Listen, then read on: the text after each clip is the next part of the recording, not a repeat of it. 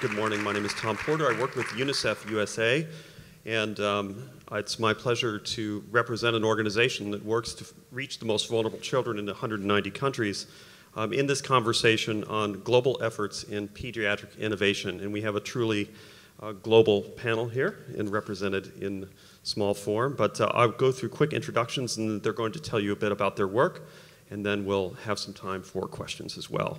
So first off, Fran A. And Fran, I'll let you, you've been so kind. Let, just give me, your last name is A. Um, and if you, if those that are uh, more skilled can attempt later. Um, Fran is the head of uh, population, or excuse me, health uh, at H, or head of population health at HP, uh, where she is focused on addressing persistent challenges in healthcare with innovation. Uh, she's an epidemiologist by training. Um, next to her is Kristen Mallory of Children International. She's a program officer there, and she manages a portfolio of health programs um, across the world in 13 different agencies in 10 countries. And to my left here, Alberto, Dr. Alberto Tozzi, Chief Innovation Officer at the Research Hospital for Pediatrics at Bambino in Rome. And so please uh, welcome our panelists. Um, so, Fran, I will turn it over to you. And I believe I have a slide here that I can advance. Thank you. You're welcome. Good morning, and for those who are curious, the name is Fran Ayalasomayajula, and I am the head of global healthcare at HP. It's a pleasure to be speaking with you. Uh, I wanted to kind of uh, focus in this conversation on the opportunities with technology and how we see it really being introduced across the world globally in very positive ways. Um, when, during our opening keynote, one of the things that was spoken about was the possibility uh, of what could come with the adoption of technology and how so many markets are adopting things like mobile technology. It's important to note and be aware that there are more people with mobile devices than there are people with drinking water. And when we evaluate or, or survey uh, consumers around the globe, um, what we find is that they believe that technology is really going to be instrumental in terms of their lifelong well being. And with that, then, we spend our time really dedicated to focusing on where those opportunities exist. Not only um, when it comes to delivering technologies in the hands of clinicians, but equally those technologies being placed in the hands of the patients as well. And that's what we're seeing today. We're seeing this move from the, the notion of continuing the continuum of care really meaning placing technology in the hands of patients and in multiple ways. But I'm going to give you some examples of these on both ends from a clinical aspect as well as how this translates into the adoption and the utilization of technology from a patient perspective, the healthcare consumer, and their personal caregivers. The first of which is to uh, note some of the advances that we're making in areas like immersive compute technology. And some examples of this are the use of holographic imaging, um, which is enabling us to do things such as conduct 17 hour surgeries of conjoined twins in reduced amounts of time because the clinicians are able to prep for these, uh, these surgeries in advance and not with handmade drawings and illustrations, but actually being able to use the MRI data, that is the 20 terabytes on average of data that exists within a hospital in more intelligent ways. Or when it comes to orthopedics, as an example, being able to utilize 3D print technology to be able to create for more customized, personalized creation of devices, and not even necessarily having to take that off-site to be produced, but can actually be produced within the basement of a facility. Or when it comes to a patient's own experience within an environment, recognizing that the sterile environment that we're so accustomed to may not be the most inviting for patients, and that it results in patients feeling clinically depressed, and also having negative results of post surgery. And that when we transform those environments, we're actually able to improve uh, the outcomes for patients post surgery. And we're able to actually reduce the amount of clinical depression amongst young, uh, young adult uh, uh oncology patients, as an example. Or when it comes to the area of virtual reality, um, the ability for us to apply VR technology for things like pain management becomes amazingly powerful. And so much so that in the face of the opioid crisis, we've able to, to achieve a 20% reduction in the use of opioids amongst chronic pain patients. And now we're seeing in pediatrics anesthesiologists actually applying this technology in their practices as well.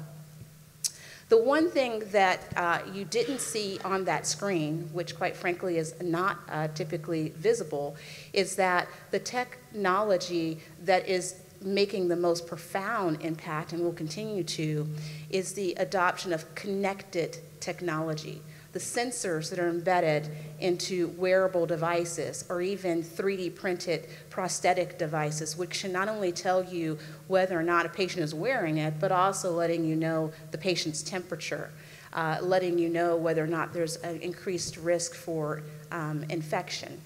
So these are the types of things that we're working on.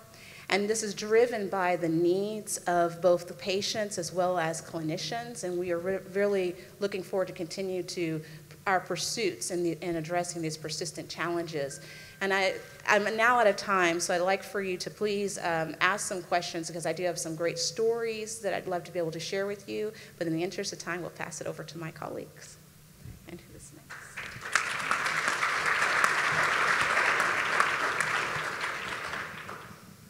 Hello, everyone. It is truly a pleasure to be here and an honor to be part of these exciting conversations around innovation and how we can use innovation, innovation to support children. Um, I'd like to tell a story. Can we get back a slide? Or introduce you to Rena. Rena is a mother of two children living in a vulnerable community in Kolkata, India. She has one of her daughters is under Aditi is the name um, is underweight for her age and like many of us in the room, can I get a show of hands of mothers out there? Yeah, so as many of us as mothers in the room, Rena wants to give her children a fighting chance, not only to survive, but to thrive as they grow into adulthood. Next. Children International. It's an, or, a nonprofit organization um, based in Kansas City, actually, and working in 10 countries across the Americas, Asia, and Africa we aim to break the cycle of poverty by investing in children and youth through a holistic approach that focuses on health, education, youth empowerment, and employment. Poverty is a pretty complex issue, and for that reason, we have to embrace a culture of innovation. We are always learning because the circumstances where we work are continuously changing. We must listen, reflect, and be able to adapt quickly in order to um, meet the needs of the people who we're trying to serve and partner with them to find better solutions. So, about a year ago, when Sally Gasaraga from Children's Mercy in their innovations department in Kansas City reached out to us about an innovative tool that had been developed at the hospital, we were really interested and intrigued to see how we could, could leverage this innovation to meet our needs. So that, oh, thank you. So the device um, was a upper, well, an armband that could be used to measure middle upper arm circumference. As many of you are familiar with MUAC, but specifically Z scores related to MUAC, which was something novel, for children 2 to 18 years old. This simple to use paper device tool was developed by Dr. Susan Abdel-Rahman, who is a clinician and also researcher at Children's Mercy Hospital in Kansas City. This tool had proven to be quite effective um, to screen for malnutrition with dietitians in a US based hospital setting, so we were interested to see how it would translate to a global, more resource limited setting. A, quick, a couple quick stats on global nutrition from the 2018 Nutrition Report. Although progress has been made over the past decade, there's still a lot more to do. Um, currently, there are still over 150 million children under five who are stunted, and over 50 million children who are wasted. There's an emerging group of children who are overweight, which we're very aware. And the burden of, the, of this is felt a lot more deeply in developing countries, where oftentimes health systems are struggling to keep up with the growing demands of their citizens, particularly those living in poverty. Children International seeks to fill the gaps in the health systems where we work, and one way that we do this is through our nutrition rehabilitation program that identifies and supports children who are acutely malnourished under 12. Some of the challenges we face through this program are timely detection of cases and then also meaningful engagement of parents in the rehabilitation process. So we decided to test the feasibility of this new MUAC Z-score tape um, to address these challenges through two different experiments. One was in Guatemala by equipping community volunteers with the tape in order to screen for malnutrition. And then the second was in Kolkata. The aim was to empower mothers whose children were already in our nutrition program to use the tape to monitor the children's growth at home in order to engage them more fully in the recovery of their children. And we found some exciting results. Through two, experiment, two leading experiments in Guatemala, 224 volunteers were trained who were able to screen almost 1,400 children. And we found that not only could volunteers effectively use the tape, but it also was much more effective at screening than BMI, which had been our typical measurement for detection. BMI was multi-step, required equipment and calculations, where the MUAC Z-score tape condenses to one simple step, providing immediate feedback to both the screener and the screenee. And volunteers also voiced um, their satisfaction in be, being able to contribute to their community in this way. In Kolkata, we did a study of two months involving 37 families, 17 of which were in the experiment group, who learned how to use the MUAC Z-score tape. They took it home to monitor their children with instructions to monitor once a week for two months.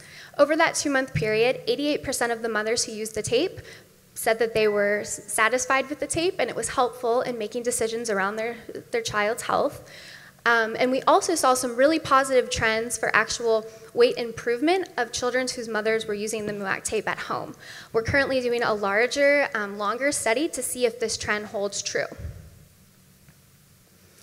So overall, through a participatory and lean approach to testing, we see great potential in this tool. We're currently sharing knowledge with the rest of our global teams for potential scale up.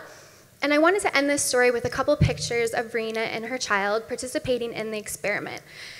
The MUAC Z-score tape turned something that's really complex like malnutrition, reduced it to something understandable, accessible, and ultimately something that could be changed. The tape put power into Rena's hands, the hands of mothers, the hands of communities, in order to transform them from passive participants to active drivers of change for the well-being of their children. Thank you.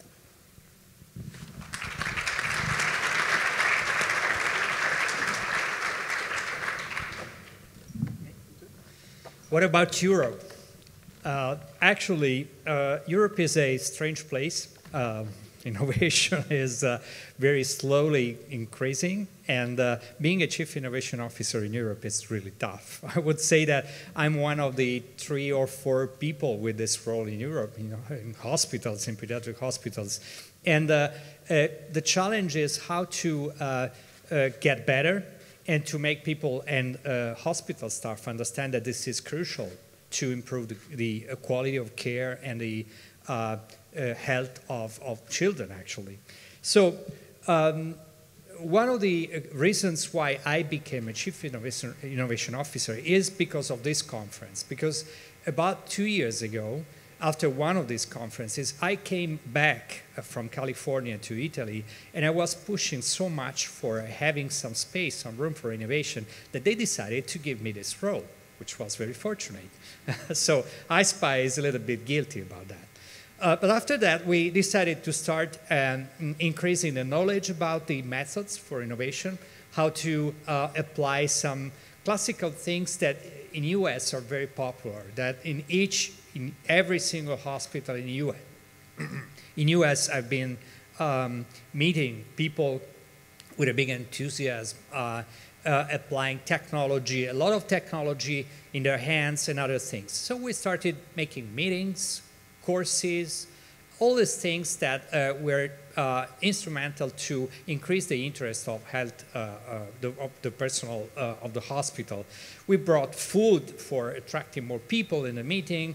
We streamed through the web and so on. And uh, slowly we increased to a sufficient number of people that now are engaged in innovation. But one of the lessons that we learned is that innovation is not about technology, but is about people. And two stories demonstrate very well, at, at least in our case. One is uh, the story of a, uh, a guy. Uh, this guy, his name is Luca, and actually Luca came to my office uh, one day because he was very passionate about 3D printing. And he said, well, uh, I would like to collaborate with you because I, uh, I like very much uh, designing 3D models and trying to make this for a hospital would be, uh, would be uh, absolutely fantastic for me. And after this, uh, he confessed that actually he was an architect. And he said, I never heard that an architect uh, play this role in a hospital, and I don't know if this is possible in this case. And I said, okay, let's go um, we hired Luca for six months, and in six months, uh, Luca actually put together a team with surgeons and uh, radiologists, and uh, they are now planning every single complex surgery with this uh, approach. And uh, the advantage is having somebody in the hospital uh, working with segmentation together with radiologists and surgeons, which makes a big, big difference. For example, uh, this is one of the four interventions for separation of conjoined twins.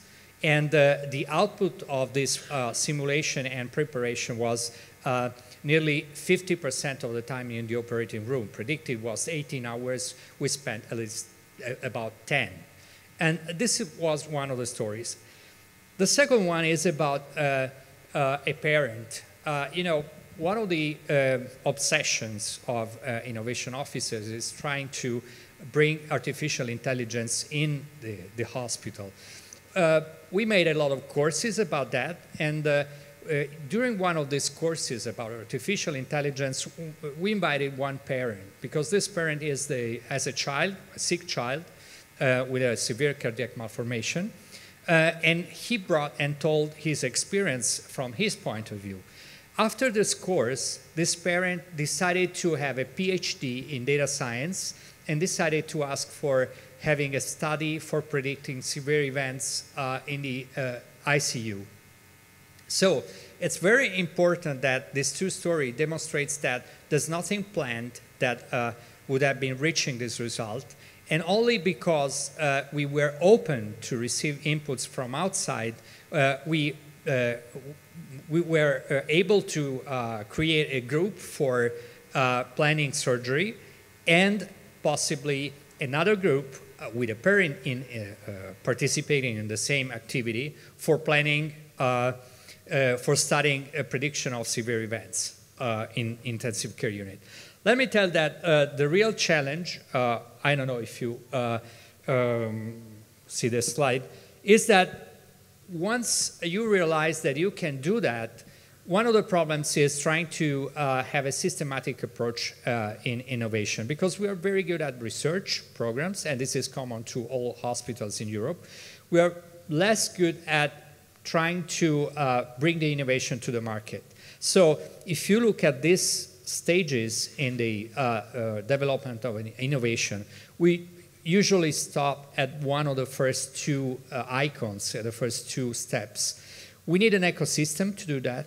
We need different stakeholders. And what we're trying to do right now is trying to bring all them together. And I think this is one of the most difficult activities that um, we have uh, to accomplish, not only in our hospital, but in all over Europe, because we are, again, not used to uh, have this interdisciplinary approach, and we're not used to bring products to the market. Thank you.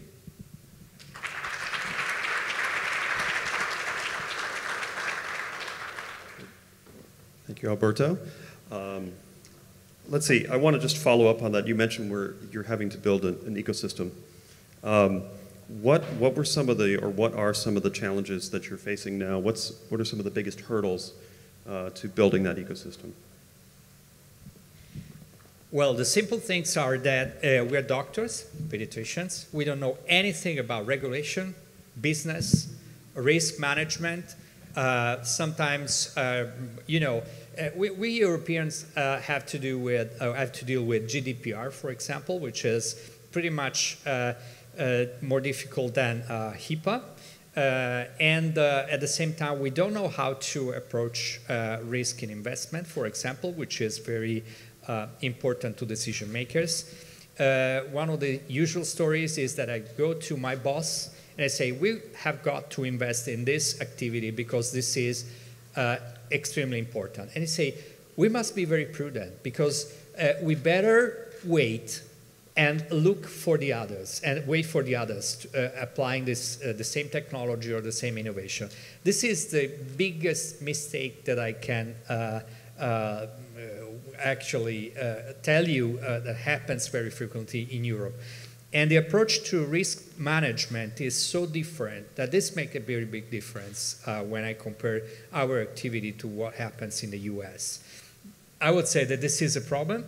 The other problem is um, funding because um, most of the times we are using research funds for uh, uh, supporting innovation. We're not, uh, uh we have not a lot of access to uh, innovation funds uh, because for one, one reason is that there are not many and Europe is not letting hospital access this kind of funds. Two, hospitals are not uh, very likely to offer support to innovation. They're pretty much more likely to uh, fund research than innovation. And this is the second problem that we have. Thank you. And uh, Kristen, in terms of that ecosystem, you know, Children's International um, works very closely with the communities that they serve to implement innovation. Can you expand on that a little bit? Yes, absolutely. So over the past two years, Children International has really invested um, in an innovative culture um, starting with our staff in the field. So um, building both the capabilities but also the mindset around innovation. So testing, we've used a discipline approach through lean experiments, um, something simple, six to eight week experiments, not a lot of resources, not a lot of human resources in order to fail quickly, learn often. Um, and so pulling the communities into this process with our staff in the field has been um, definitely something that we've been prioritizing over the past year, um, realizing that there's essential feedback um, that leads to better solutions. So when I think someone in the last panel had mentioned partnership, partners in design, very much seeing the community and partners in design from the beginning plans of experiments um, into the final solutions. Thank you. And Fran, I'll just ask you too, as two, having two epidemiologists on stage, what drove you personally to get into innovation? Trying to find ways to solve persistent problems. I mean, we see the statistics all the time, right? We work with the data and we work directly with the patients as well, um, whether that's um, you know within hospital settings or within the field. And what the real you know opportunity is is to try to address those issues. Today, I mostly am you know focused in on non-communicable diseases. Um, and with that, then there are a lot of things that can be addressed by the adoption of technology. And really focusing in on trying to find simplistic ways to go about that is where we see, you know, huge opportunity. And there, there really is. I want to piggyback on what Alberto was talking about in terms of challenges. We equally share the same kinds of challenges here. The question that always comes out is who's going to pay for it. So you have to be really smart about those applications. So for example, if you're looking at the adoption of virtual reality technology, well, incorporating biofeedback um, into those sessions is one way that we go about creating for billable VR. Um, so you know, it's it's just really trying to you know address those challenges that really you know drove me in that direction. If you're already working with the data, um, start leveraging. It's not enough to say that we're you know we're getting 50 percent you know improvement, or we're getting we're able to use 10 percent of the data that's available to us when we could be really leveraging it all when we access things like artificial intelligence and machine learning. Can I, can I tell one more word about the role of, of epidemiologists? Actually, we are in the position also to apply evidence and epidemiology to uh, demonstrate that actually technology really works. And this is something that we miss a lot. Fantastic. Well, I think we do have to wrap it up there. We're out of time. Um, so please give a round of applause for our panelists. And I would encourage you to, um, to seek out our panelists later today to continue the conversation. Thank you.